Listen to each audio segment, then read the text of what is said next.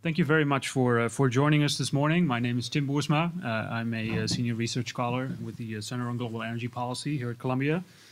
Um, this morning, we're going to talk about the uh, the role of the European Union in global energy transition uh, with a set of very distinguished speakers. I should say, I'm very pleased pleased to have them all. I will introduce them to you in a second. Um, before I do that, let me first quickly say that this event, like all of those at the center, um, is being webcast live, uh, and both the vi full video and the podcast um, will be uh, will be available on our website and on iTunes uh, somewhere in the coming days. Uh, and for those of you watching online, and I know that there are quite a few, um, uh, uh, as well as people here in the audience, of course, you can ask a question to the panelists at any point dur during the event. using the hashtag CGEP events, and our Twitter handle is at Columbia U Energy. So after uh, having said that, uh, we'll start this morning's uh, event with a brief discussion with uh, European Commission Vice President Maros Sefcovic, um, who oversees the Energy Union, about which uh, he'll tell you more in a second. Um, he's had a very long and distinguished career uh, in public policy, both in Brussels and on behalf of his home country, the Slovak Republic. Um, we're very honored, sir, to, to, welcome you here to Columbia University.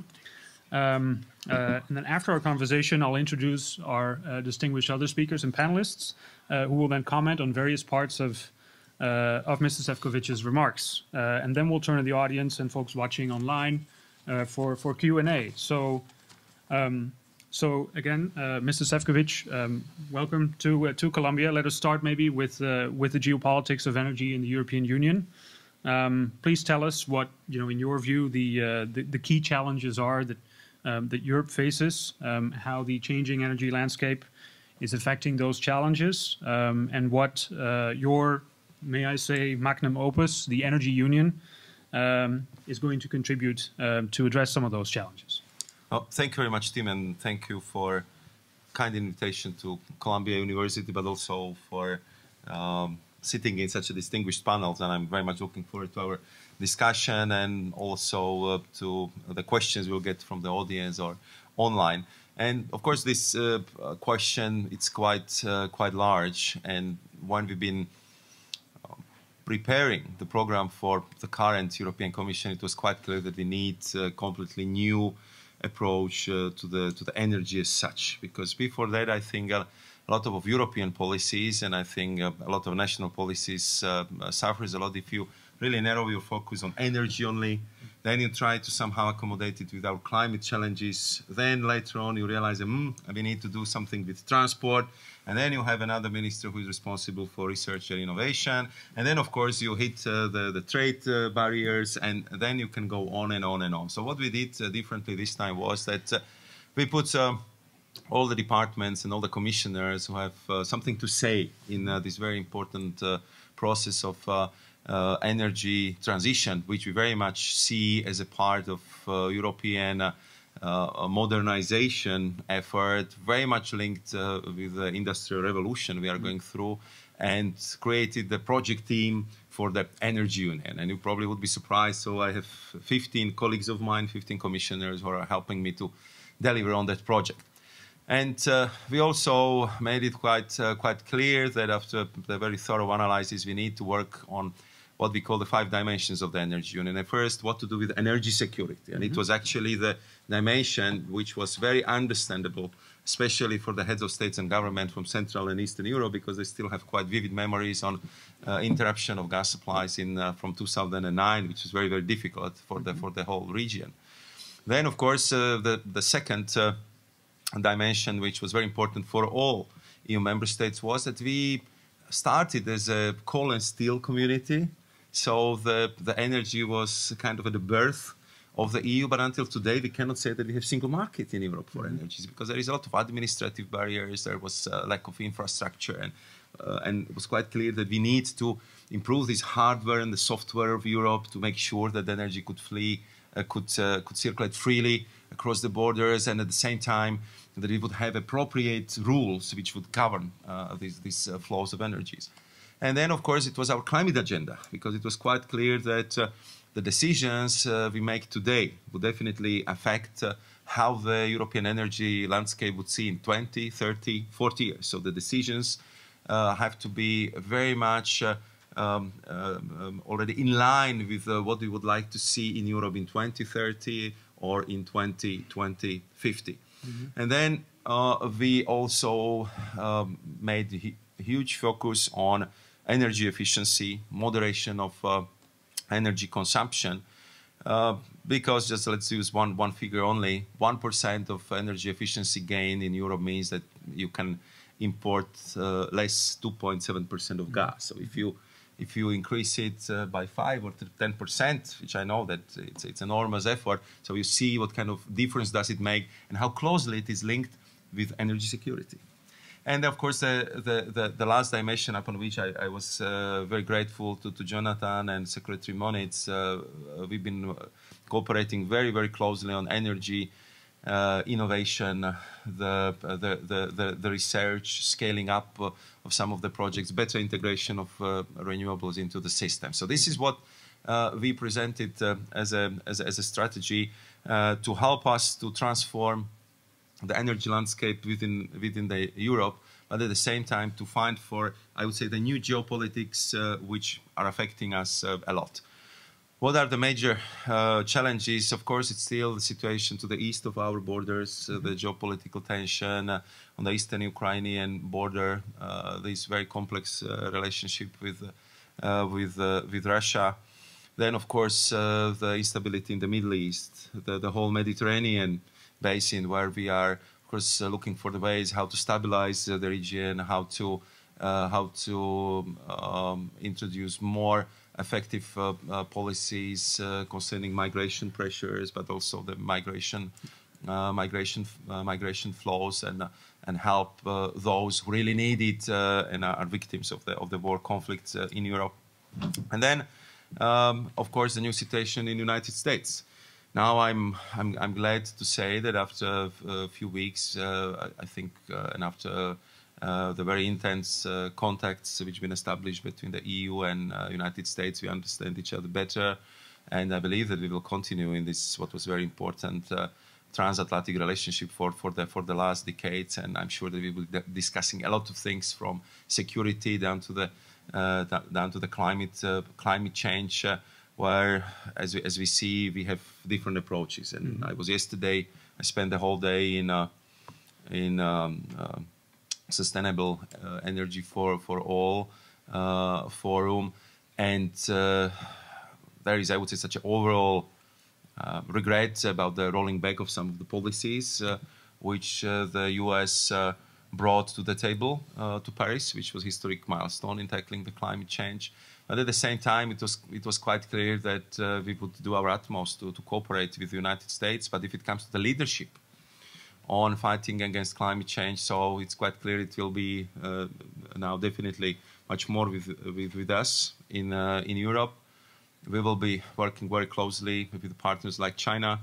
I have a big faith in new actors who are more and more uh, influential uh, in this uh, uh, climate debate. These are mayors, these are cities, because they are the first to uh, to react to air pollution, traffic congestions, and they have a lot of powers, and very often they are much more ambitious than uh, than the national governments. But the dynamics which we had in Paris, this high ambition coalition, I think it's it's clearly it's clearly changed, and we'll see how that would evolve. So, for not speaking too long, these are just some of the glimpses when in uh, the the.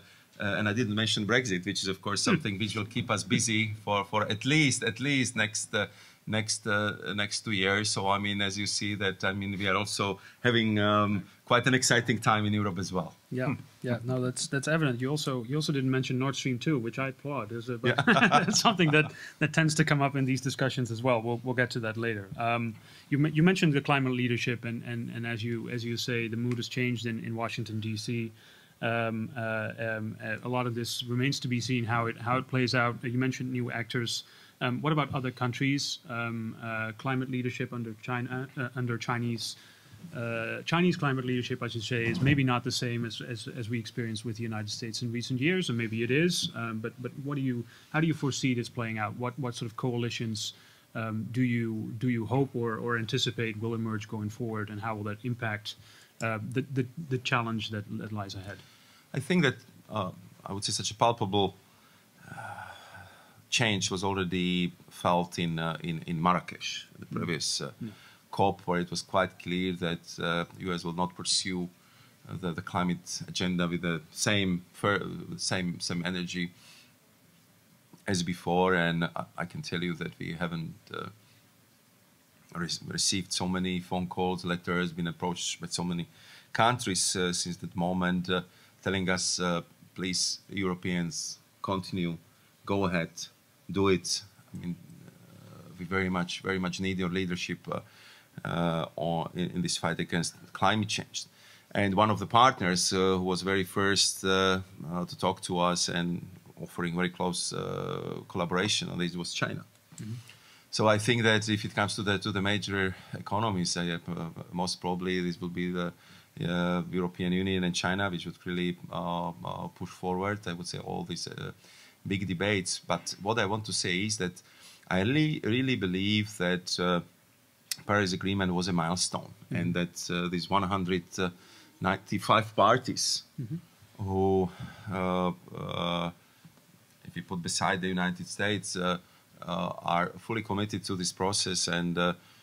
they they are going to to implement these policies. Of course, with the United States in this leadership group, it would be much easier because the, the voice would be stronger. We would be able to, to help mm-hmm. many more countries um, uh, together because we are going to continue to be the biggest uh, uh, development aid uh, provider. We are going to spend more than 20% of uh, all our money on, on renewable energies. We are going to share our, our know-how.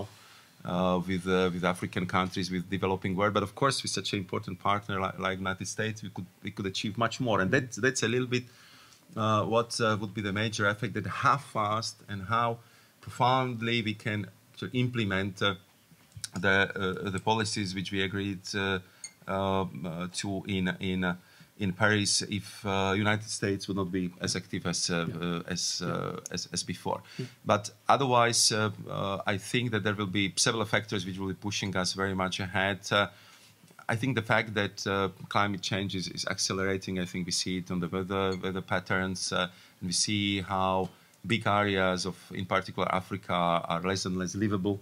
Mm -hmm. We see a new phenomenon which is uh, uh, clearly described by, by the socialists as a, as a, as a, climate uh, uh, migration. And of course, if it comes to, the, to, the, to the cities, uh, again, this winter was a bit uh, uh, special in this respect uh, that uh, we had probably the worst uh, numbers if it comes to the to the air, air, pollution, also in Europe since, since many years. So I mean, the pressure on the mayors and pressure the mayors put on the on, on, on the governments is quite strong to act to come up with a with a, with a, with a cleaner solutions, cleaner policies, and I think this would be um, uh, uh, the, the drivers from the, I would say, perspective of the future quality of life, but also what I think the, it's, it's a new aspect is that uh, the investors and businesses are realizing uh, what kind of business cases mm -hmm. Behind uh, going for these new technologies, that they do not want to be left behind on these cutting edge innovations, on the fact that uh, this low carbon transition is very closely linked uh, with the industrial revolution. It's very closely linked with modernization of the systems. That companies want to be energy efficient. Companies uh, wants to have a good reputation. That uh, uh they're using renewable energy. That they're they're helping environment. And this is actually, I would say, also one of the uh, reason why top companies also in in US are pushing for US to stay within the Paris framework. Mm -hmm. Um, so maybe maybe briefly, um, it'd be helpful if you can lay out. I mean, we talked about international coalitions. Um, what about domestic coalitions? It's not as if within the EU uh, there is there is one voice that is easy to streamline, and uh, so you have to you navigate that space too and try to get everyone uh, on the same page and formulate ambitions together. Can you maybe elaborate, talk a little bit about the challenges you face there uh, within Europe? Yeah, yeah. I think, uh, uh, of course, I mean, an energy union. Um, project uh, was and is very much supported by the EU member states because it offers, uh, I would say, the different solutions for different regions. Right. Because if you if you talk to Nordic countries, and I was the last week in, in Sweden, and what they do in Sweden is just absolutely remarkable. If you look, they already now they they have 99% uh, of energy uh, production from from low carbon mm-hmm. sources, mm-hmm. and I mean, there will be for sure 100% uh, low carbon. I mean, within within a couple of uh, couple of uh, couple of years. When you see that uh, that they have biggest proportion of renewables in transport and what they do with heating and cooling, how innovative they are, and uh, how they're using the, the data centers, uh, subway, and and mm-hmm. all of the energy intensive factories to actually collect the heat and, and heat the, the, the, the, whole mm-hmm. cities. It's just absolutely remarkable. And it just proves that the technology is here. And when I was uh, in uh, Umeå, which is a city in the north of Sweden, mm-hmm. there was still a lot of snow on Friday. Mm-hmm. And uh, when they can when they can be uh, so energy efficient in, in up there, you know, where it's uh, very very cold for a long period of time, I'm sure that the technologies could be used anywhere in in Europe, anywhere in in the world. So mm-hmm. for Nordics, it's very much renewables. How to integrate them more efficiently, how to make sure that uh, the market works. For Central Eastern Europeans, it's of course still more energy security. Uh, uh also uh, also energy poverty. Mm-hmm. Uh, more than 10% of people still have a problem to pay for the bills of the energy prices as uh, as such. For Southeast Europe, this is lack of interconnections. Uh, how to make sure that they will not be dependent on the one supplier mm-hmm. Uh, only. For for uh, Spain and Portugal, how to build the interconnection through France to make sure that mm-hmm. we can use their potential in renewables. That we can use the LNG terminals to get the gas to Europe. So each of them has, of course, a little bit different priorities, which we try to accommodate mm-hmm. within the uh, uh, European cooperation.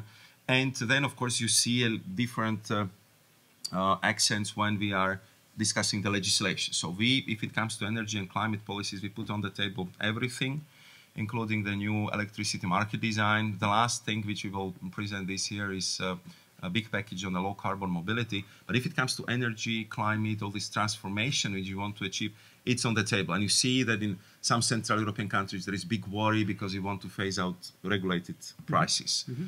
In, uh, in other countries, there is a worry that uh, through our governance system, we, we try to impose the energy mix upon them, which is not the case, but you know the, the worries are there. Then, of, also in, in countries like, like Germany, uh, they are a little bit worried, you know, that how this agency for the European regulators would work and who would have the last word on price zones and things like that. So, so I don't want to say that it's a it's absolutely smooth ride. I mean, it's uh, it's very uh, demanding what we do. It's uh, I, I, don't think then I'm exaggerating, but what we are really proposing, especially in our clean energy for all packages, the most profound. Uh, uh, transformation of energy systems in Europe since they have been built in the current cent centralized and fossil-based uh, uh, way. So we are completely changing the paradigm, and it requires a lot of effort, a lot of negotiations. But I believe we will get there. Yeah. Yep. Thank you. Um, final question, and then we turn to the uh, turn to our panelists. Um, you mentioned uh, African countries, um, and there's so there's this European African partnership under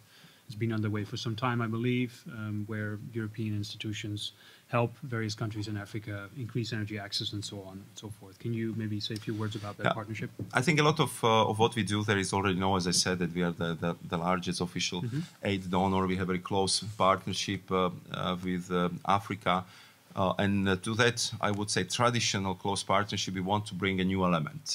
Because we realize that, of course, the future will be very much decided how much we can power Africa. Mm-hmm how can we make sure that the 700 million Africans would finally get access mm-hmm. uh, to electricity and how they're going to do it. Because if they would uh, follow our, let's say, fossil way, so then it would be a tragedy for Africa because of the air pollution, because of the huge cost they would have to build to these big power plants and centralized power lines. And, and I served in Africa, uh, so mm-hmm. I know that in, in, most of these countries it's almost impossible because of security, because of uh, uh, of course, na uh, natural conditions and so on and so forth.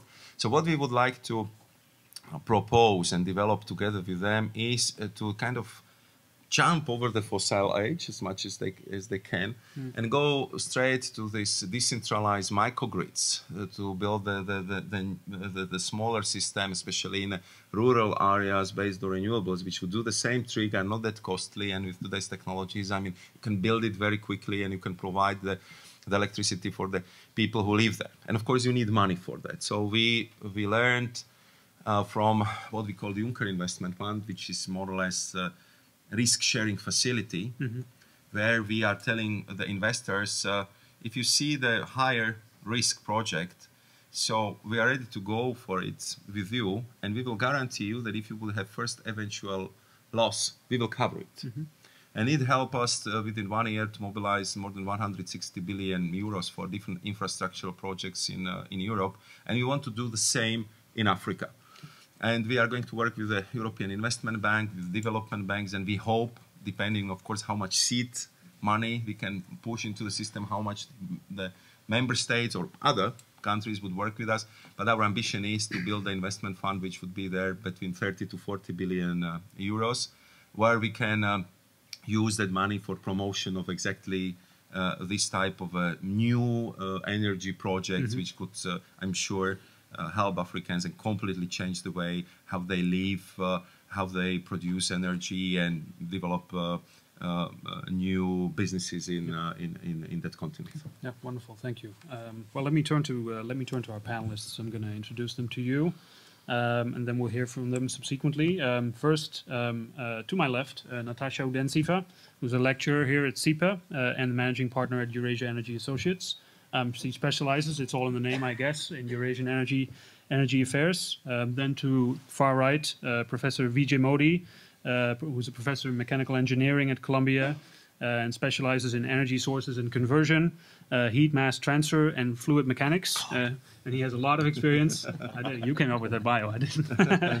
uh, has a lot of experience doing research uh, in developing countries uh, around the world. and then finally, uh, John Elkind, uh, who recently joined us as a fellow and adjunct senior research scholar at the Center on Global Energy Policy. Um, uh, he joined the center after uh, an impressive career devoted to energy and environmental policy, most recently as uh, Assistant Secretary for International Affairs at the U.S. Department of Energy. So we're very delighted to have the three of you join us. Uh, in arbitrary sequence, I'm going to turn to Natasha first for some brief uh, comments and opening remarks, and then we'll turn to the other panelists, and then we'll return to, to Mr. Sefcovic. Before we start, can you open this? Yes, I can. I will open that. There we go. Here we go. Um, so, oh, um, hello? Yeah. Yeah. Uh, so before, yes, I would like to talk about uh, geopolitics. Uh, I would like to ask you a question about you talk, uh, you emphasize a lot of climate change. I wonder what uh, steps EU Commission is doing to help Poland and Germany to shift away from coal. It's a huge problem there. Uh, that's kind of my first question. But um, otherwise, um, again, um, in in, uh, uh, in the press lately, uh, there was um, information that EU Commission made uh, already official that uh, Nord Stream 2 is happening. Um, I don't know if it's a final decision. Uh, I don't know if we have fake news or real news. uh, but if it's true, um, I think it brings um, a lot of questions to European Commission. Why? Um, well, uh, it will come. It makes uh, Gazprom, but I, what I want to stress out that it's not only Gazprom; it's a joint venture between Gazprom and Wintershall. Roughly speaking, it's like 50-50, um, 50-50 uh, joint venture, and we're talking about upstream, midstream, and downstream. So what European Commission is doing, you're creating this monopolist monster inside of EU that will bring on shore of Germany 110 uh, BCM. Now, ironically, if EU knows or kind of like learned through these years how to deal with Gazprom and how to keep it at bay, uh, I'm not sure that uh, EU actually knows how to stand up to Germany and to Wintershall and to this uh, the major economy uh, in Europe. Um, and I have to tell you, it will be very hard. It's it's a very successful marriage between uh, join, um, between Gazprom and Wintershall. Uh, they are together like the joint, uh, you know, ventures like more than 25 years. So um, I personally don't see this beautiful blonde that will, you know, break up, uh, that is going to break up this marriage. Uh, so you're bringing this uh, all this uh, massive um, volumes. Not me, definitely. Well, EU, Not EU, EU, definitely. definitely. Not You're yeah, definitely. yeah, uh, bringing uh, all these massive volumes to uh, German uh, shows. And then what will happen uh, is Gazprom and mostly Germany will be able um, I'm not saying manipulate, but dictate the prices. Because I think here is very interesting thing what's happening. Uh, Gazprom just recently made all these concessions uh, in uh, antitrust uh, case that was uh, against him, held by Europeans. And it's very nice and sweet on the paper. And Gazprom is saying, of course, mm, prices will be uh, transfer, um, transparent, and they are going to be transparent, but they will be um, uh, referred uh, to uh, prices, uh, the average prices, German border, uh, France border, and Italy border, Italian border. Now, what all these Eastern European countries are doing, will their price will be um, counted and priced against uh, the borders of the uh, Western countries, uh, because you know it's much shorter um, distance to come to to Poland or to Czech Republic or to Slovakia? That's one question. Another question: Gazprom is saying, "Oh yes, um, long-term contracts will stay." Um, okay, they will stay and they will be uh, oil priced, um, oil indexed, but then uh, other part uh, of other part of the gas uh, will come. It will be bounced by um, uh, by uh, European hubs. But what hubs? German hubs. Again, there is no even mentioning on uh, of UK hub, which is the most liquid hub uh, in Europe. So Gazprom and uh, uh, Wintershall are going to bring gas to Germany, bounced it by its own hub, and then uh, disseminated in Germany against in all uh, European Union. I think it's really you know raises the question, and I think here you need uh, at that point you need LNG gas just to balance it. It's wonderful. Uh, I knew we would talk about geopolitics and get into Nord Stream 2. So thank you for uh, thank you for bringing that up. Uh, we'll turn turn to John Elkind now uh, to hear from him. Thank you. Thank you, Tim, and uh, thank you to Vice President Sefcovic for uh, being here with us today. Um, I'd like to make basically three broad comments or touch on three uh, topics. Uh, one being um, an American's observation of this project of energy union that you have been describing. A second uh, on climate and clean energy leadership, and then a third, um, some thoughts about where there may be, or questions about where there may be opportunities for um, uh, continuing U.S. EU collaborations. Uh, first, I mean, I think in regard to the the energy union, um, it is important for um, observers in in this country, on this side of the Atlantic, to remember the the complexity of the undertaking. Um, you referred to shifts in technology, objectives about um, uh, a decarbonizing world, and all of that uh, carries um, complexity and requirements of investment and so forth. But notwithstanding the fact that it was at first a coal and steel union, the idea of creating a truly functioning single market is something that is huge. And I think as Americans, we have a tendency to forget uh, the very uh, considerable tensions that arise all the time in jurisdictional matters between our federal, federal Energy Regulatory Commission and our state uh, uh, utility commissions, which uh, very jealously guard their prerogatives uh, and and so forth. And the same one is seeing in uh, in the European case. Uh, France worried about legacy investments in its uh, nuclear fleet, which is understandable, but then not achieving some of the uh, the interconnection objectives anytime soon. So it would seem. So the political element of this is, has been the thing that has always struck me, and I think it is. Uh, there is unfinished business, but the progress that has been made, particularly under this commission, uh, and thanks in no small part to to your leadership, um, has been huge.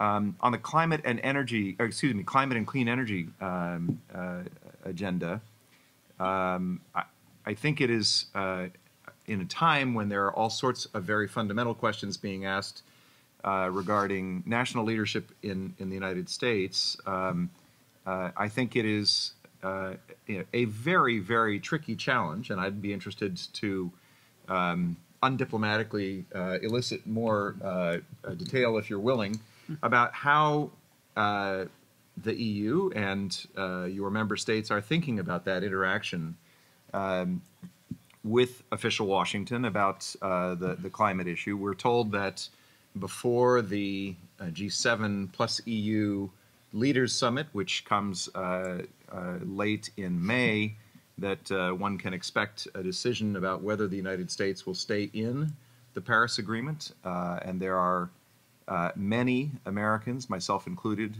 who would consider it to be a, a, a, really serious mistake if, if that were not the case. Uh, of greater relevance than my opinion, perhaps, is that uh, expressed by the Secretary of State during his confirmation hearings, the, the Secretary of Defense talking about um, impacts arising from a changing climate and what that means uh, even for the national security of the United States or global security. Um, you referred to uh, migration pressures arising. So, any further thoughts on that would be uh, certainly of great interest to me. Mm-hmm. A third and final area that I'd like to comment on is is the uh, the, US, the, the, transatlantic energy and climate agenda going forward, uh, because um, even in a time when our federal government uh, is expressing a priority for America first, um, uh, a, uh, a, phraseology that has certain historical echoes, not all of them very pleasant. Um, it's, I, I think, the case that there are so many interlinkages, economic and academic and research uh, and policy interlinkages, that that importance of continued transatlantic uh, engagement on energy and climate is huge. Um, one specific example, um, the entry of the United States into the position of being an exporter of liquefied natural gas, LNG, um, has been something, has been part of a broader uh, changing evolution of the, the energy landscape and out of the hundred cargoes uh, that have been dispatched from the first of the U.S. export facilities at Sabine Pass. Uh, I'm told that 30%, um, excuse me, that that uh, uh roughly 15 of them have gone to Europe, including including to Turkey, um, uh, with others going elsewhere as the arbitrage dictated. But this is yet another new linkage and I would be interested in your thoughts, uh, Maroš, about other areas of priority where, notwithstanding some of the shifting views uh, from from Washington, where there may be opportunities for continued and one hopes even deepened collaboration, whether that's in the carbon capture, utilization, storage space, or in energy storage, or in certain policy arenas. Thank you. Thanks very much, John. It was great. Uh, then finally, Vijay. Thank you. Thank you. And uh, it's a pleasure to be on a panel with you, Vice President. Um, I think actually your comments on Africa were spot on uh, about leapfrogging and so on. I just had a few thoughts. Um, I think, uh, interestingly, you know, if you look at the last couple of decades of discussion on Africa, you know, generally they are about policy and governance issues or what I would call management issues, how to execute efficiently. And then the third thing is generally on financing. Okay. So, though, you know, the debate can be summarized in these three blocks.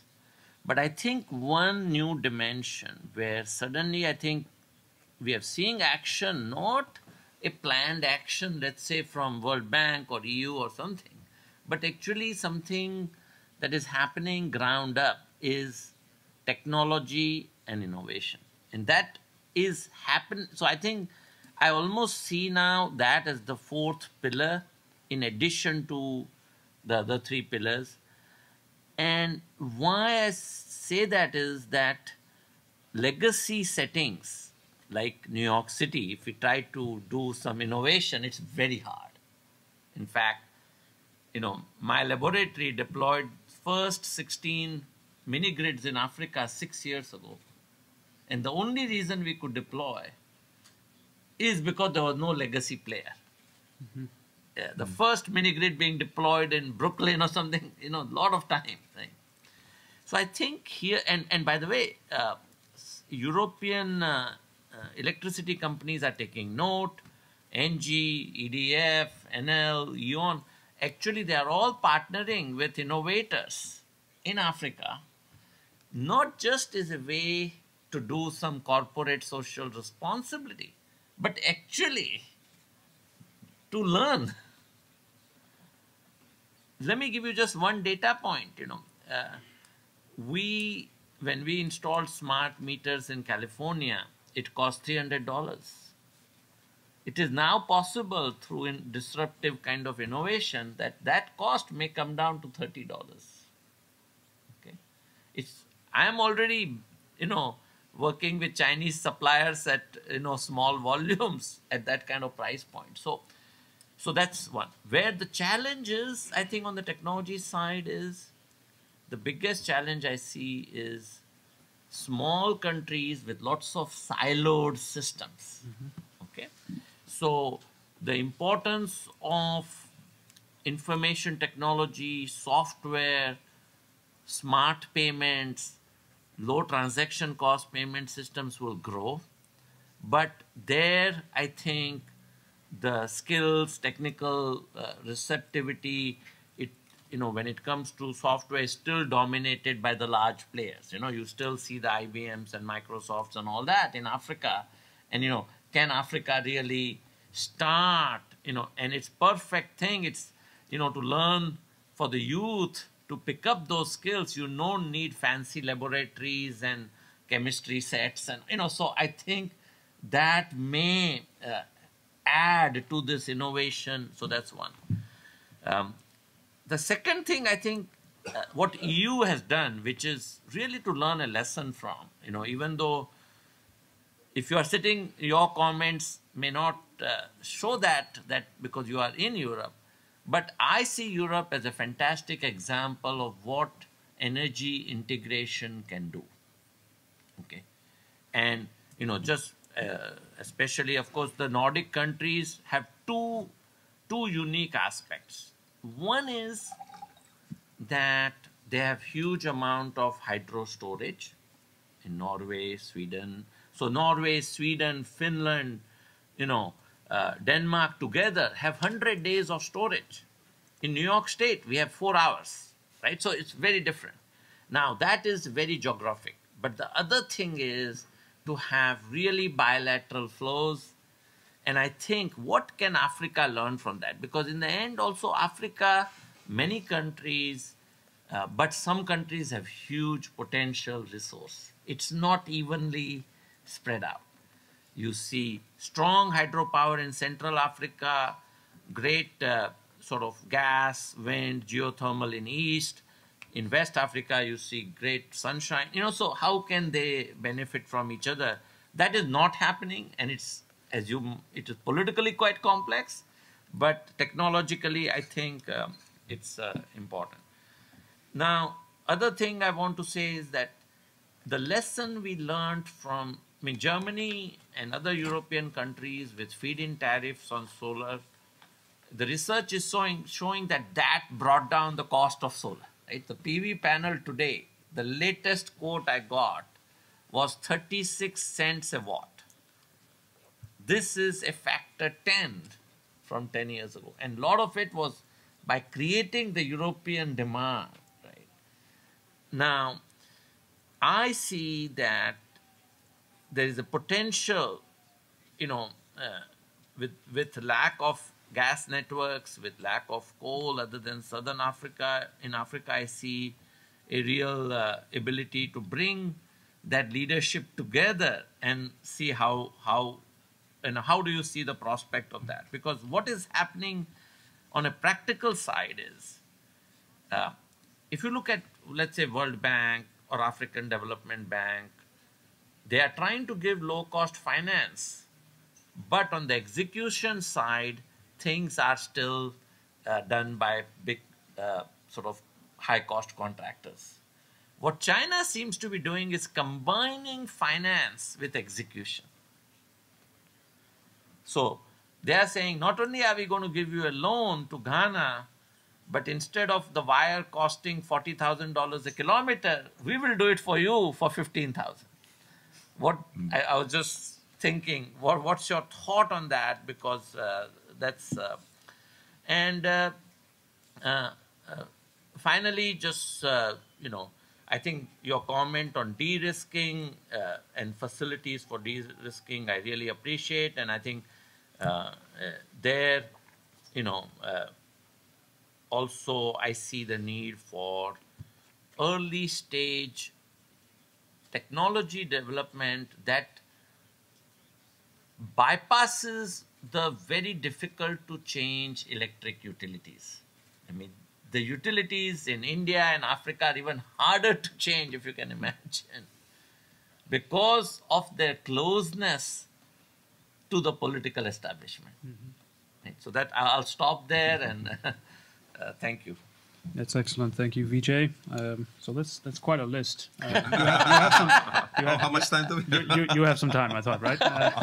Uh, uh let's let's see. We uh, um, we got quite a list. You want to? Yeah, you took notes, so you want to just get started? Um, Maybe I will. I will start yeah. with uh, Russia, Gazprom, Nord Stream two, and I thought that I would I would get, get the question, so I didn't want to uh, delve into it right at the beginning. And now I, I thought that probably I should have because I could have uh, clarified some of the uh, issues already at, at, the beginning. First, I would say uh, what I would say is that it's um, quite clear that uh, we are very important uh, client for Russia. We are the biggest energy importer on this planet. we are very predictable. How much uh, energy uh, do we need? How much we are going to import? We are paying on time, and we pay in in a hard currency. And I think that uh, it's quite clear that all this um, is affecting the Russian energy strategy in a way that they want to make sure that the market share on the European market would be um, very solid, uh, very, very, very substantial. Uh, at the same time, we know that Russia is looking for the diversification of the export portfolio, and I think that they understand very well that we are also looking for the diversification of suppliers because uh, uh, we just, I would say, I believe in the last uh, phase of uh, conclusion of the case where we have been investigating the Gazprom for the abuse of the dominant position on on um, on the market, and uh, we clearly have seen that during this investigation, uh, the the price differential between Western and Eastern countries. Uh, was quite substantial, and actually, the, the countries in Central and Eastern Europe have been paying between 15 to 24 percent more for the gas, despite, as you rightly pointed out, they're closer uh, to to Russia. But the, the problem was that they didn't have that many alternatives from whom they could uh, buy the gas because there was not enough interconnections, there was not uh, enough liquidity, especially uh, especially in, in, in the gas market. So part of I would say the strategic uh, uh, priorities of the energy union was the diversification of the suppliers. Therefore, we are uh, working so hard to make sure that we will have Caspian gas in Europe before 2020. therefore we adopted new LNG strategy, uh, which is uh, aimed uh, at making sure that Europe, as a, as I said, biggest energy importer, would be very well placed on uh, the global um, LNG market. And uh, we are also doing our homework, uh, meaning that we still need to build, I would say, two or three LNG terminals, one in Krk, one in, in Croatia, one one one in Greece, and and then um, I think we are quite well set to have like geographical coverage of uh, the LNG terminals where we need them, and of course the second part of the homework is that we also have to make sure that uh, these LNG terminals are proper interconnected with all other uh, um, uh, pipelines uh, within Europe.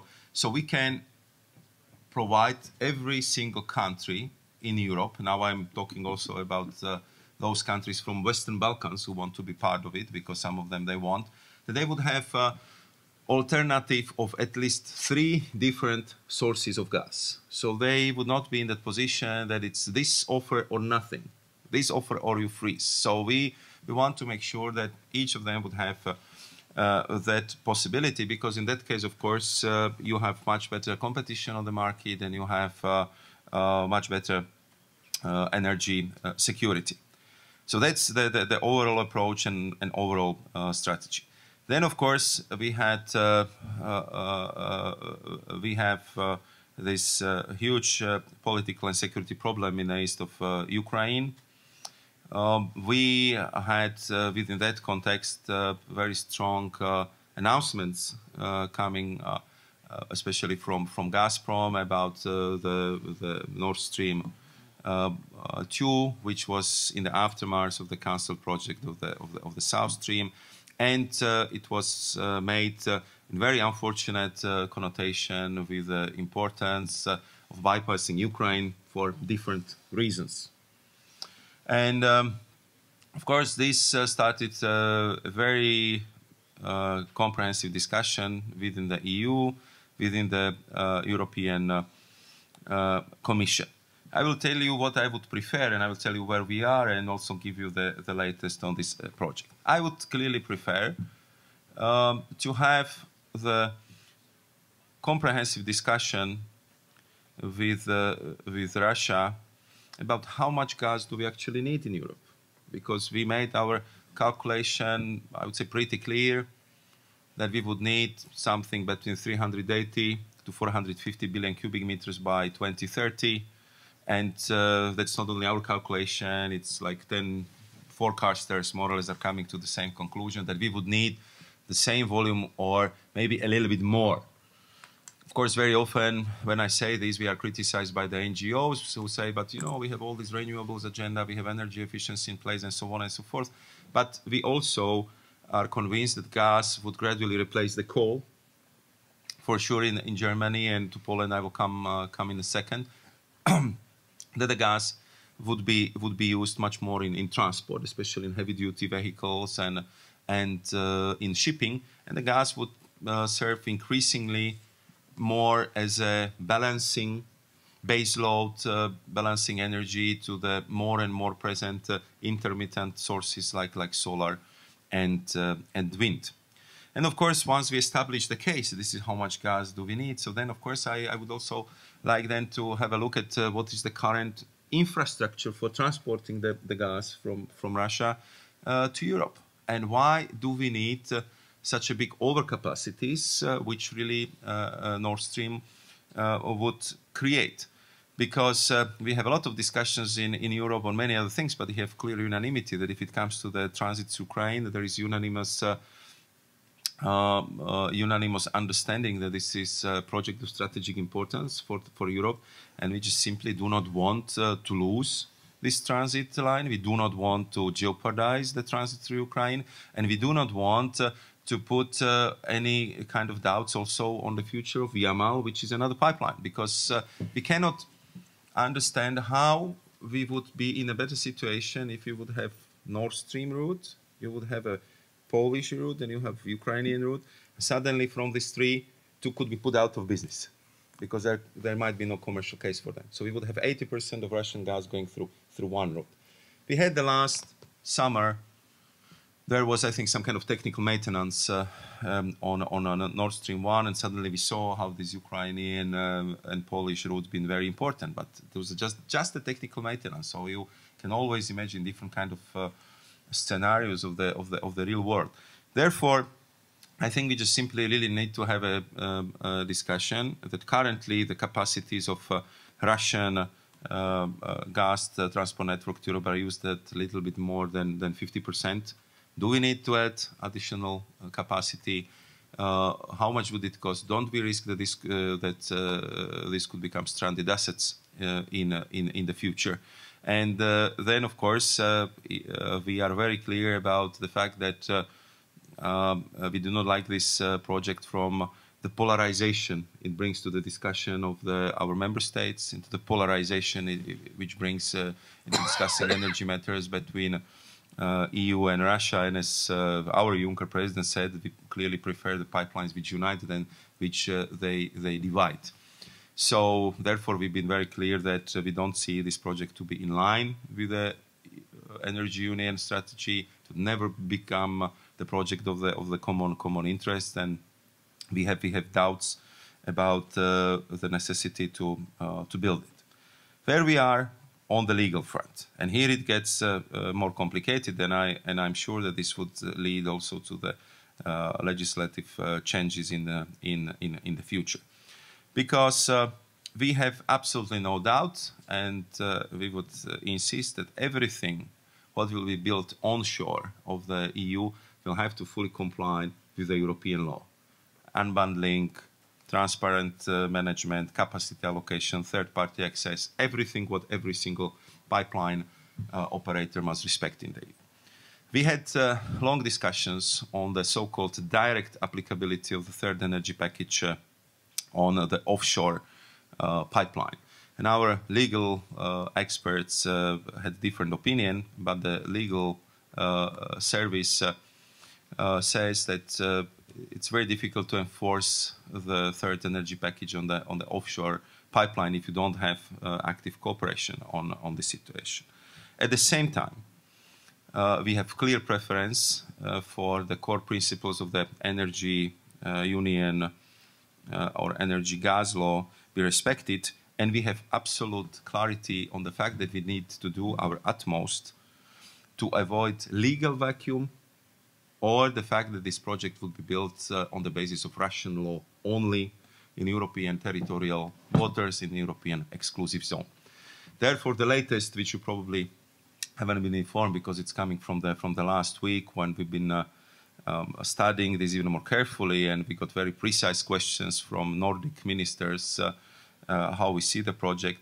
So uh, we inform them and also inform our uh, EU EU member states that we are going to see to seek mandate from the Council, meaning from the member states, uh, uh to resolve this collision of laws, the the EU and Russia, and to avoid the, the, the the legal vacuum by the negotiations. So we are going to ask the mandate for the agreement, which we would like to negotiate uh, with uh, Russia on how uh, the this pipeline could be operated if built, and what, of course, would be the legal principles and legal legal requirements for such a pipeline. As an illustration, I just mentioned that there are several IGAs between Norway and quite a few European member states, but where every single issue is covered. What happens with the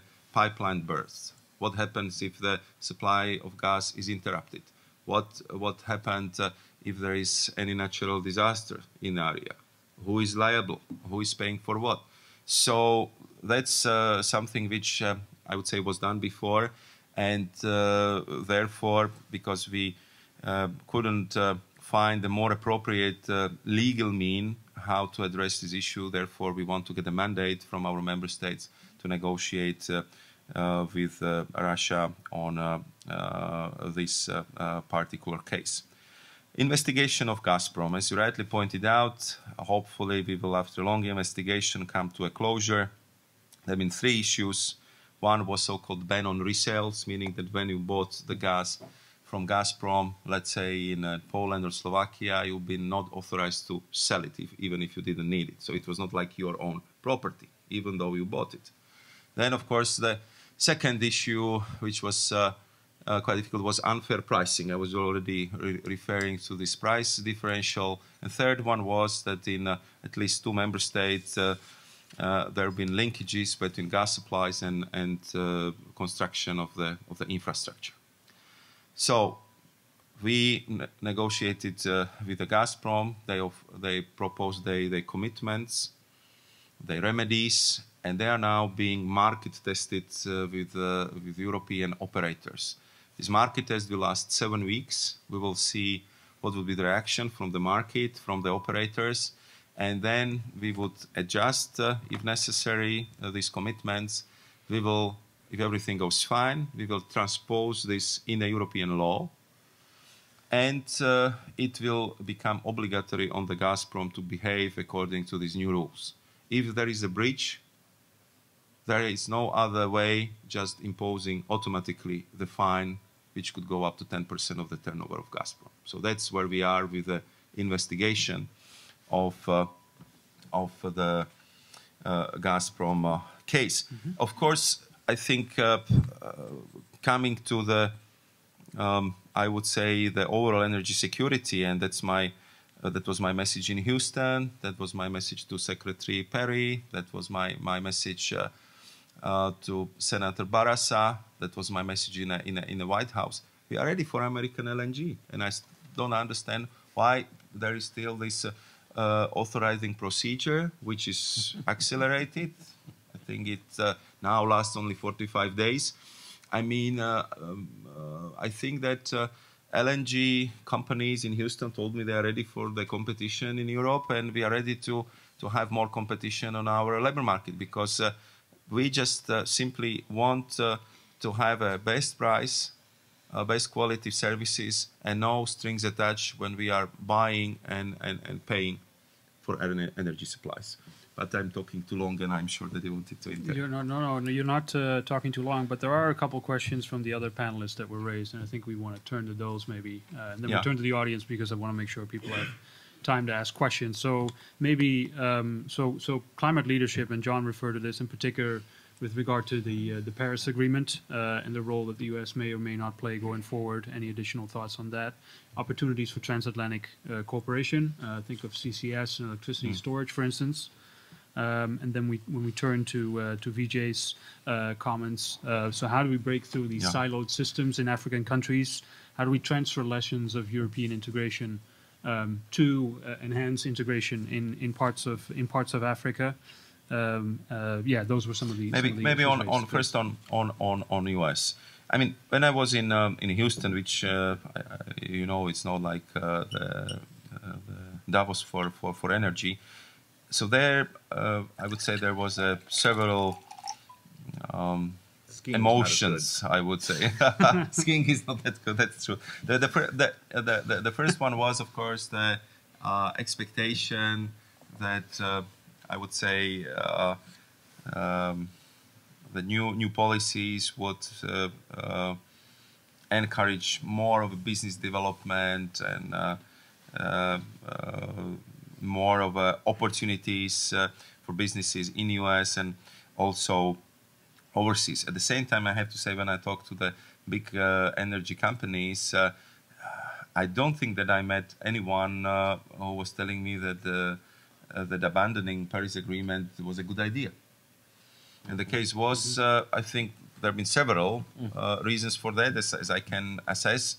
The first one was that many of uh, the CEOs have been sitting with me at uh, the CEO uh, summit, uh, which was taking place in, in, in Paris, uh, where we've been also discussing how important the role of businesses is in, in this energy transition. Second, uh, I would say it's not only because of the corporate social responsibility. All these big companies uh, are, I mean, not all of them, but most of them are building very strong green divisions in US, in Europe, and as far as I understand, the solar industry is, has become very quickly number two employer mm-hmm. uh, in the United States as well.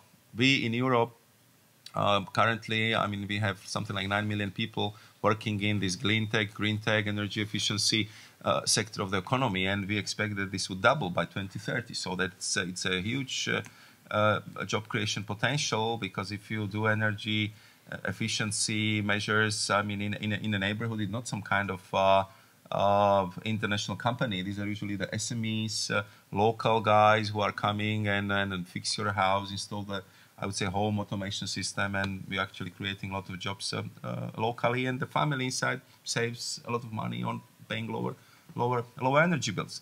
And the energy companies realize that for the in the future, already now, I would say, they're not, they would not be selling energy. They would be selling service. Mm. They would be selling service to make sure that lights are on, heat is on, air cooling is on, but it must be done in much more, I would say, comprehensive manner in the, the, with packages of services which would be sold and not just the energy as such. And the progressive companies understood it and they want want to go in in in in uh, in, uh, uh, in that direction.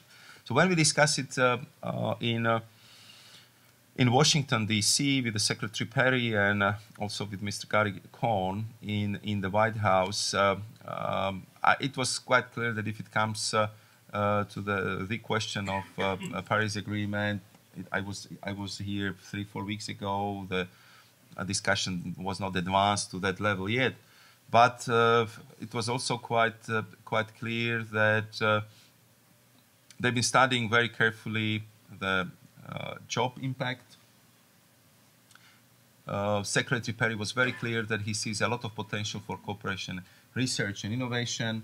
With Jonathan, I think we've been working together to make sure that, for example, Argonne Lab close to Chicago and our uh, lab in, in Ispra in Italy would work together on, on storage, on electric vehicles, on uh, uh, transmission, smart grids, and so on and so forth. So this was clearly very much uh, supported by by the Secretary of Energy. And then in in in in, in the White House, I mean, uh, we discussed a lot, you know, what to do with uh, carbon capture and storage, carbon capture use, what kind of new business models we uh, we are trying to develop in Europe, as, as it was rightly asked, for the carbon-intensive regions. Mm-hmm. And I think here we need uh, two aspects for that. The first one is a political, that we have to be very clear also in, in Europe, in, in Poland, in my country, in Czech Republic, that uh, we are not leaving these people behind. We are not abandoning these mining towns uh, because these uh, uh, people have been working very hard for, for a long decades. It was very proud uh, profession and it's a very tough job to be a miner. And I understand that if somebody comes and tells them, okay, we don't need you anymore, we're just closing this down and we don't mm-hmm. care what happens to you, of course these people would be very concerned and, and very ha- unhappy. So what we are doing right now is uh, we are learning from the examples where we had the successful transition already accomplished. Northern Westphalia, uh, different uh, Belgian uh, uh, regions, uh, the Hauts-de-France, where they, they managed to, to do this right and we have uh, quite a few good examples what can be done. But I think we have to come with a message. We are ready to help. We are ready to work with local authorities, with national government. We are ready to look for different kind of investment and financing. What kind of new business model we can develop uh, for these uh, regions?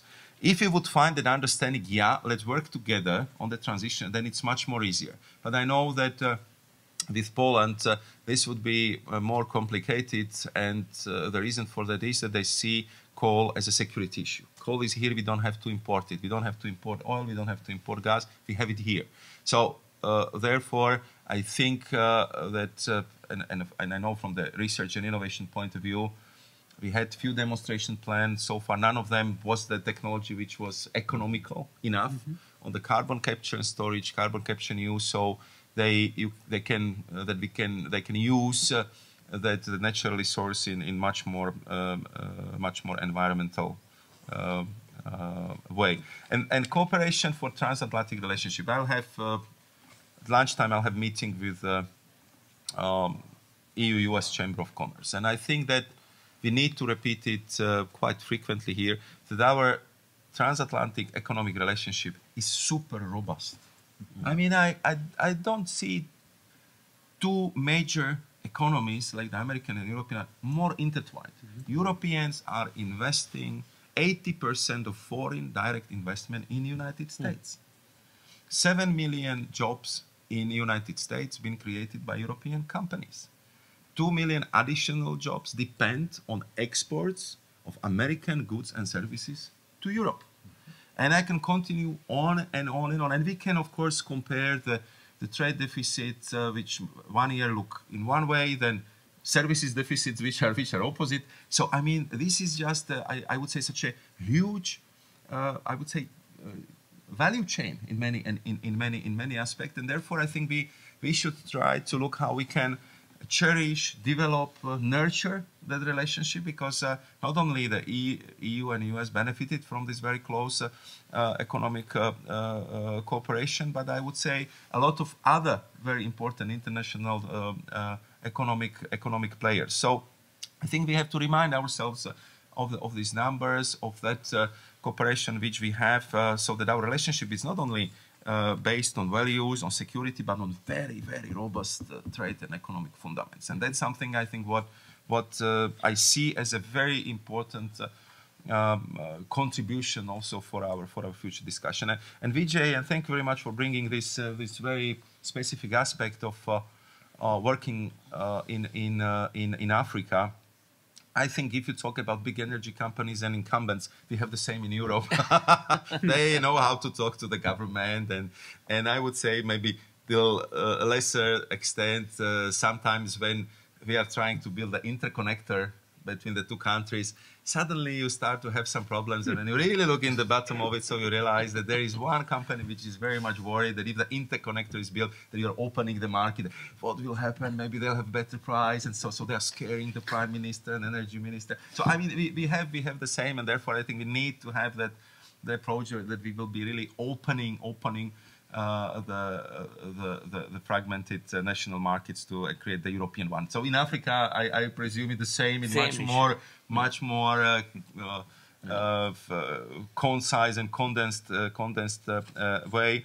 And therefore, what I think, what we really should do is, as you said, to clearly put the focus on collaboration with the with the with the local leaders, local communities. Sometimes going going straight uh, to the rural communities with a uh, ready-made uh, uh product and show that what this can do to the local community. Because then, as with air pollution, also here the the public pressure would be huge. Uh, look what you can do with, I would say, uh, this new technology. How can you improve the system? Mm -hmm. So why are you preventing this from from coming this to us? And then, of course, the the financing of this, uh, we also would need to have a fresh look because I think we are at the stage in Europe and probably in Africa that it's quite clear, especially after the crisis we had a few years ago, that we cannot cover everything by the public money. No.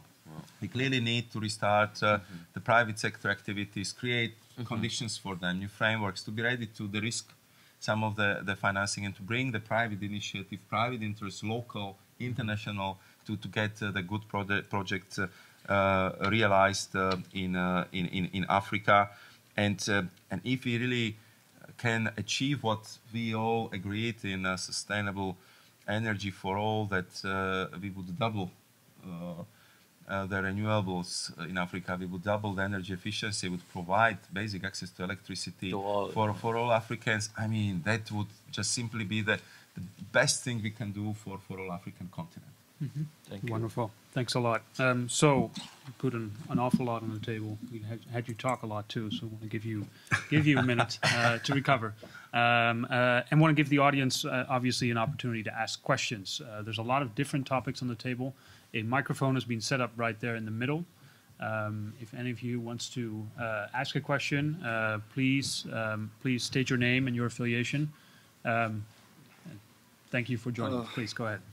Hello, I'm VP Sefcovic. Thank you very much. Thank you very much to the panel. Valerio Dalla Torre, I'm from NYU, uh, the Center for Global Affairs. So I had a question regarding US LNG. You said Europe is ready for US LNG, and, and it is. I mean, we have a, a 33% or 30% uh, utilization rate or regasification capacity. But, but also the United States is ready. Cheniere has declared that 50% of their liquefaction capacity by 2020 can actually go to Europe, will go to Europe. But there are some questions that are unresolved. And um, the first question is, well, competing with Russian gas, it has to be, price has to be around 4, maybe 3.5 million British thermal units. Second of all, you said it, how much gas does Europe really need? How much demand will grow, but it won't grow exponentially. It will be a very slight, slight growth. And at the same time, the Southern Gas Corridor is, is, uh, is coming online, hopefully by 2020 with TAP. Uh, and Croatia will have their LNG uh. So how, since Europe is ready and the United States is bringing on uh, 12 trains, I think at least by 2020, and could export to Europe, but the arbitrage says it would be better to export it, of course, to the Asian markets for, for better returns. How is the energy union accounting for this? How could it help some? Could it put? Some, I don't know. It's an idea. Some quotas maybe like for in order to instead of buying gas from Russia to wean off a little bit and say, look, let's find a way to purchase from the United States. Let's find a way to deal with the United States better on this front to help you know increase energy security. Thank you. So should we, yeah, should, what, what is the outlook? Can you say more about this? And should we move to a more regulated model? I guess is the question. I, I think that if it comes to the uh, to uh, to the to the LNG, um, uh, the truth is that uh, currently we are using our uh, capacities uh, by I don't know some between 20 to 30 percent, and I, and I think the major reason for that it's not only the price but also the fact that uh, some of these uh, uh, terminals, especially the huge cap capacity of Spain, it's, it's not interconnected with, with the rest of Europe. So we still need to build this interconnector through France. We're working on it. It's not easy, but I, I believe it will be done. And uh, then we need uh, some more interconnectors within the Europe so that uh, the LNG could really feed in a way that anybody can can um, can profit from that. And um, I think that this would also open um, the, the, the new markets for gas because uh, the Western Balkan countries, some of them which not been gasified before, are seriously thinking about it because I mean, again, air pollution, because of the fact that gas is cheaper and uh, it's better combination with the uh, with the renewable. So there there would be also, I would say, the newcomers who are not within the EU but they are in our neighborhood who like to use more uh, uh, more gas and or replace coal or simply uh, work with with a less uh, uh, carbon intense uh, fuel.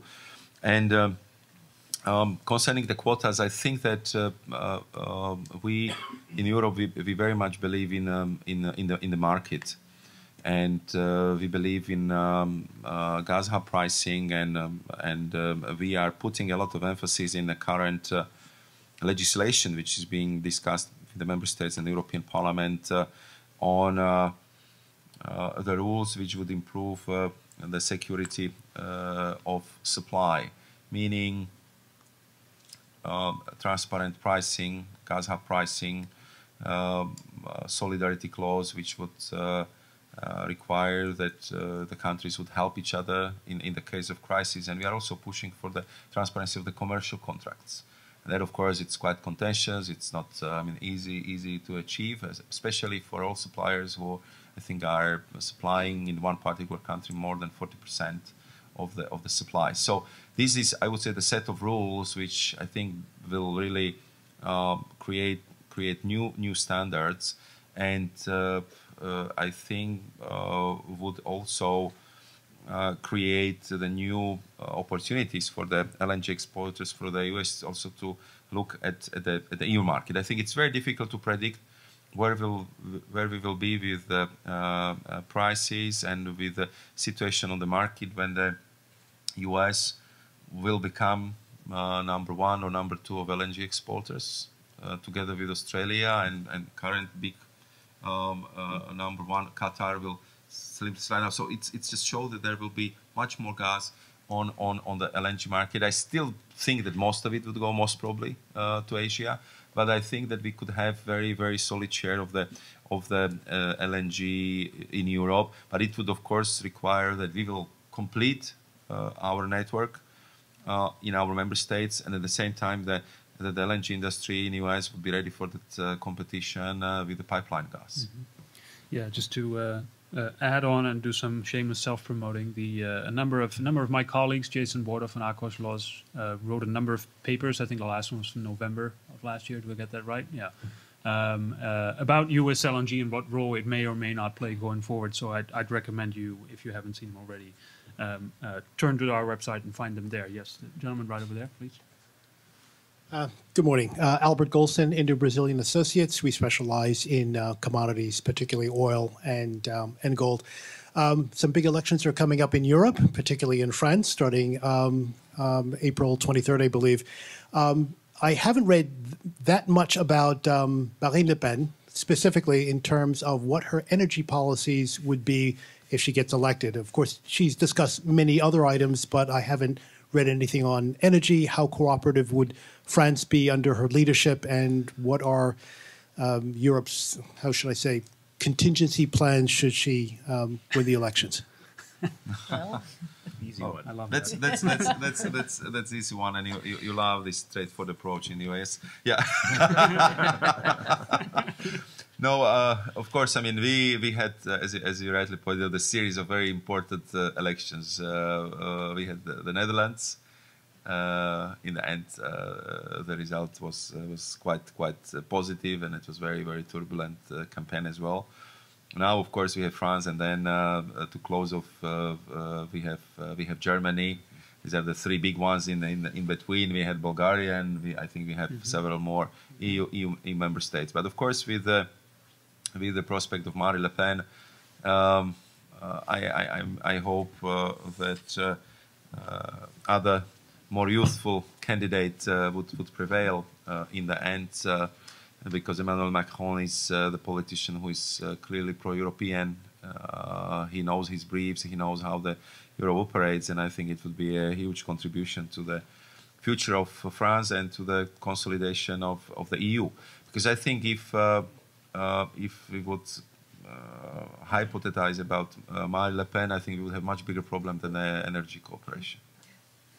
I mean, because she, I mean, um, it's quite clear she she wants to leave the eurozone.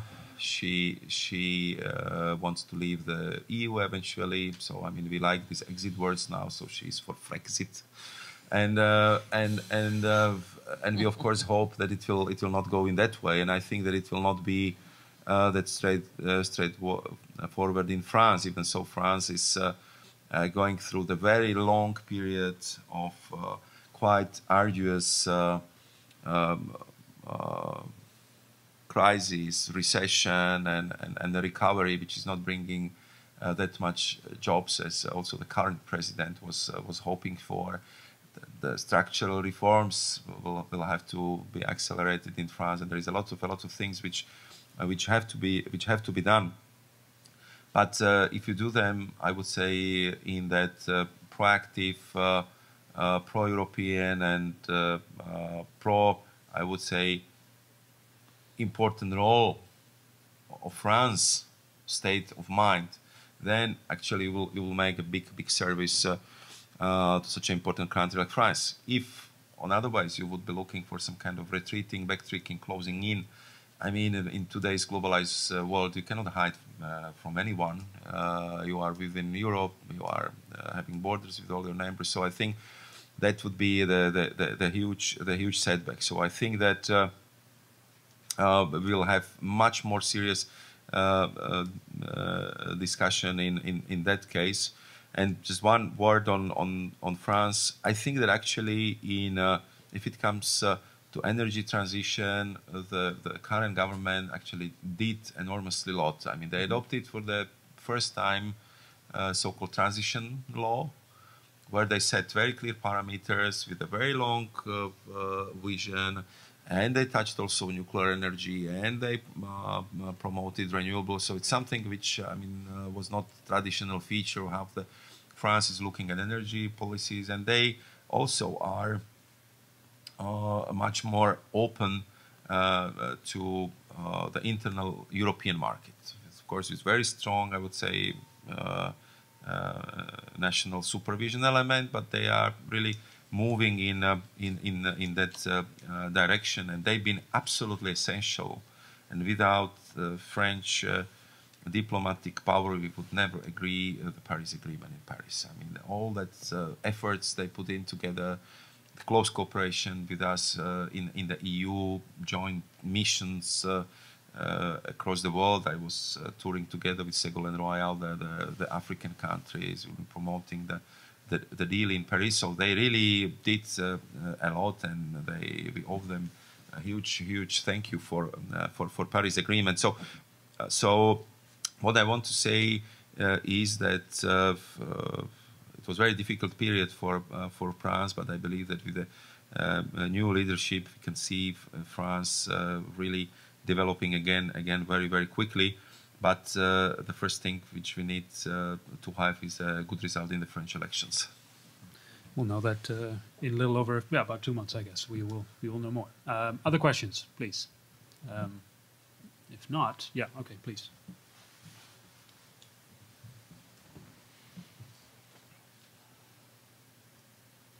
Um, Will I'm a graduate student at the Harriman Institute for Russian, Eurasian, East European Studies. So my question is related to um, the European Energy Union's relationship with Ukraine and where they see the future of that going. Since the start of the war in the Donbass, Ukraine has shifted most of its energy supply away from Russia towards Europe, but all of that gas is still, in the end, Russian gas that's back channeled from Europe. So, what do you see as the future for European involvement in Ukraine? Yeah. Thank you. I think that uh, also Jonathan can, can help me on this one because we've been uh, working on that uh, uh already for quite some time, and there have been the moments where uh, we had uh, phone calls early in the morning or very late in the evening because it was a harsh winter. And not everything was always always settled. But I think that if we look at it where we started, when the first trilateral protocol was was signed, where we found that solution about part of the debt of Ukraine towards Russia and uh, the conditions under which uh, the uh, Russian gas would be sold uh, uh, to Ukraine, and then uh, when the very important technical solution was found about these reverse flows from, most importantly, from Slovakia because it's uh, that's the biggest one, 40 million uh, per uh, per day. Then also the Polish one and the Hungarian one. Then I think we started to really charter new, I would say, energy map of Ukraine. Uh, because of the tensions which is clearly there uh, between between uh, two countries, Ukraine very much wanted to make sure that they can be supplied from the, the western direction. We can argue uh, where the molecules are coming. And most of them, as you rightly pointed out, would be uh, from Russia. But the fact is that according to the European rules, you can you can buy the gas from the gas hubs, you can buy the gas from the from the Norway, and uh, this is more or less the swapping uh, accounting accounting operations. And uh, with exception, I would say of the, of the last uh, winter, the the the price the uh, the Ukrainians can get from gas hubs in Europe uh, been lower uh, than the price they could get according to the the formula uh, which was in the contract between Naftogaz and Gazprom, and that situation uh, has changed. Uh, I think towards the winter for for couple of for a couple of weeks, but this time, I mean, we were not able to agree on one particular issue, which uh, then didn't allow us to, to proceed with the, with the conclusion of the third uh, trilateral um, uh, protocol. When you ask me where I see the future, at first I think Ukraine has to accelerate the reform process. I would say in all aspects, uh, I think in energy they did enormously lot. They are not always getting credit uh, or full credit for that because they liberalized uh, the prices. they now have uh, appointed uh, the regulator according to the EU rules. They are, I think, now debating the parliament electricity law. They are going to create the energy efficiency fund, and they're also looking for the investors which could bring experience in how to bring, I would say, this uh, European standards in operating the, the transit uh, uh, pipeline, but also how to bring the investors to increase the uh, extraction of gas from, from the resources in, uh, in Ukraine. So I'll just give you the few figures and uh, you will see what kind of uh, future Ukraine might, might have. Mm -hmm. If Ukraine would have the Polish energy efficiency standards. I'm not talking about Sweden, I'm talking about Poland, Slovakia, the Central Europeans. So they would save in one year that much energy as is consumed by Spain. So they would be almost immediately energy exporter. If uh, they uh, would uh, uh increase uh, uh, the extraction of gas, which I understand is still possible, but because of the uh, these different prices which have been used in Ukraine, there was no real incentive for the investors to come and invest more in the gas extraction. They can they can extract quite significantly uh, uh, more uh, of uh, of the gas, and then of course uh, if they would continue uh, with uh, with the reform policies, which which they said they they really could be within reasonable period of time. I mean, five to ten years, less and less dependent on energy uh, imports, and uh, they could be, or uh, I would say, uh, neutral uh, position between import and export. Or they could even become exporters. A lot would depend how quickly they would be with reforms, what kind of regulatory stability they can offer to the foreign uh, foreign investors, and uh, what they will do on the energy uh, energy efficiency front in the households, but also in uh, in, uh, in, um, in in in the industry, and. Uh, then, of course, we have uh, we've been just discussing quite sensitive issue of, of coal.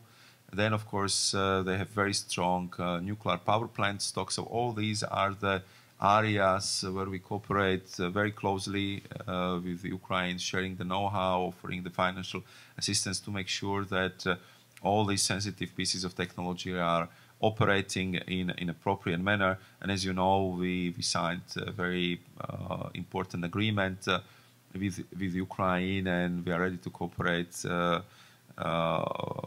with our Ukrainian partners as closely as it would be possible.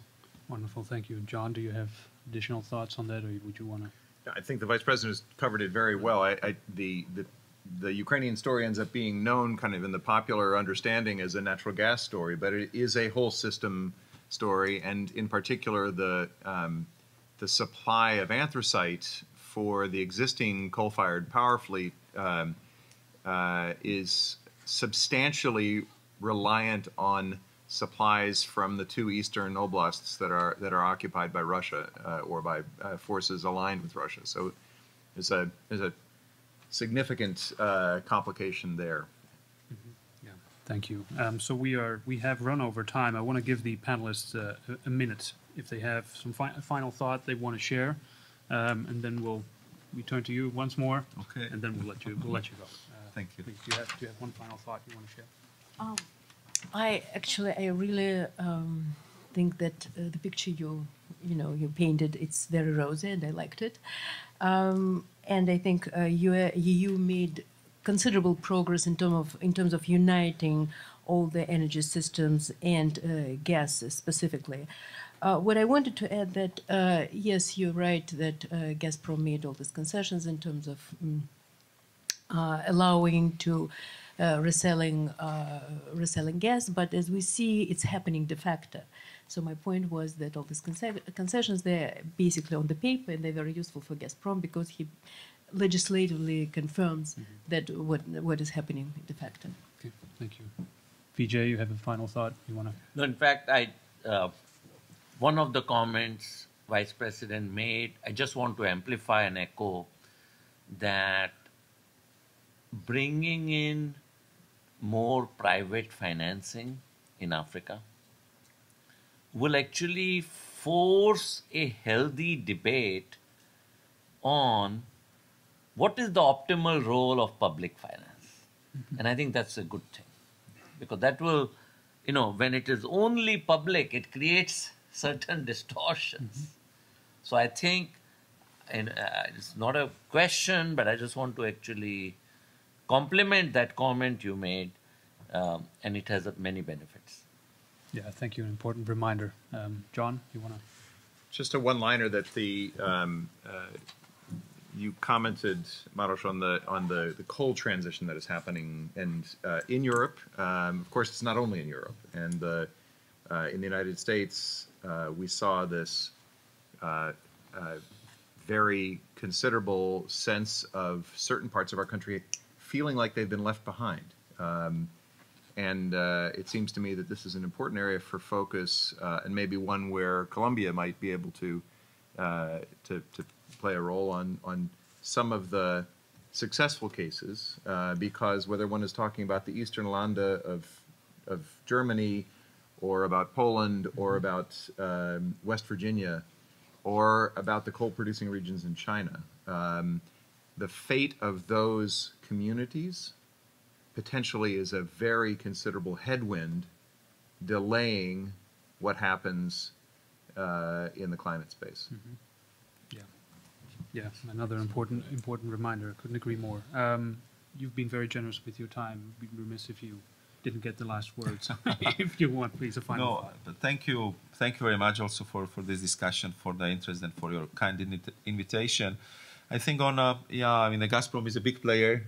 They will they will I'm sure remain uh, remain a very very important player, very big player, and uh, therefore I think that uh, on all these very important energy related issues on infrastructure supplies or market market share that we would we would need more intense exchange of views, um, more transparency, and uh, also the feeling that uh, the the Europeans are treated as a uh, very important customer, and as very important customer, as I said, we want the best price, highest quality of service, and no political strings attached when we when we buy energy. And I think, therefore, I, I'm sometimes joking with my uh, Russian partners, tell them, look, you know. Uh, how how come we don't have all these discussions with Norway? So, so, so, so that's a bit of an anecdotal uh, reference to how complex uh, the relationships uh, in this uh, area are. Then on um, uh, on the private uh, financing, you're absolutely right, and I think that we need to make sure that this low carbon transition will be now accelerated and fueled by the by the private interest, by the business cases which would uh, push it forward by generating the uh, the revenue, by the modernizing potential they will bring. Because in that case, of course, it, it, it would be much faster and it would be done much more efficiently. Just one also piece of uh, uh, advertisement. We just uh, uh, agreed with uh, Bertrand Picard.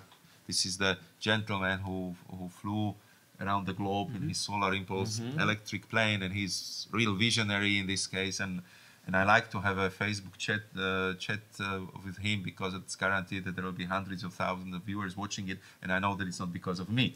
So he so he really brings a lot of a lot of interest uh, into this topic, and uh, we agreed that uh, we will help him to come up before next COP uh, in Poland with 1,000 energy solution, uh, which uh, would be interested interesting for private sector.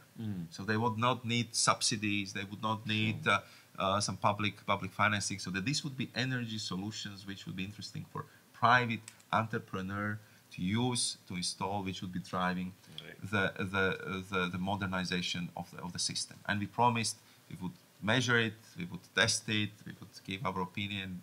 We think that these technologies are working and that's something which of course would be beneficial for the for the global global uh, community and uh, carbon intensive regions I, I totally uh, agree with with Jonathan we simply uh, cannot overlook the, this issue. We're talking about the real people, real community, real regions, and communities which been once extremely important. They contributed to, to the economic development of our, of our countries, and, and, and they deserve fair treatment.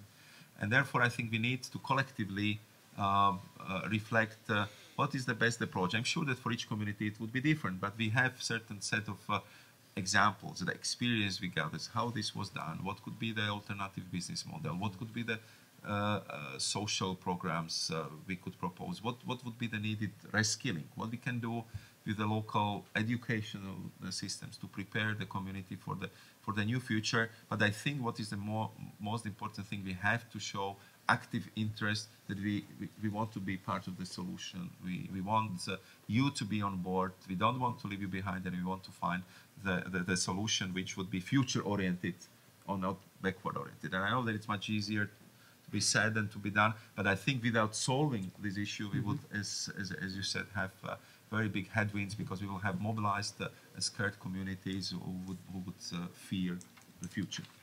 Thank you very much, Tim. Thanks very much. Um, uh, on that note, we're going to end. Uh, I want to thank you all for being here and for your uh, for staying with us, joining us. Um, um, as I said earlier, I think this this video, the, the recording will be uh, uh, will be available on our website in a couple of days. Um, and then you can also subscribe to our podcast series, which I would encourage you to do. You'll find a podcast there later on uh, with Vice President Sefcovic as well. Um, uh, this is uh, one event in a series. I would uh, just flag one of them for you next week, Thursday, I believe, uh, is the Columbia Global Energy Summit. Uh, I would highly, highly recommend that you join us. Um, so please join me in thanking the panelists, uh, in, and in particular, obviously, uh, Vice President Sefcovic for joining us here at Columbia. Thank, you very much.